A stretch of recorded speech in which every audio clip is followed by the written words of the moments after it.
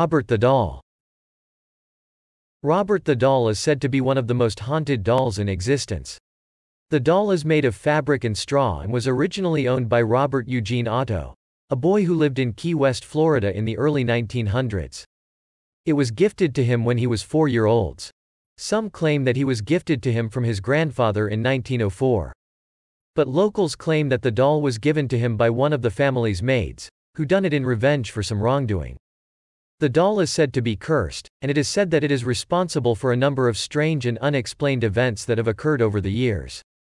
There have been several reports of the doll moving on its own, and it is said that it has been heard laughing and seen changing facial expressions.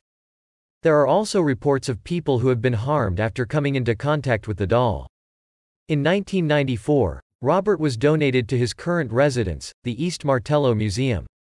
Behind him, Pinned to the wall are the warning sign that says, don't photograph. But some people sneak a picture of him anyway. And that explains why surrounding the warning sign are a lot of apology letters from people asking Robert to make the bad things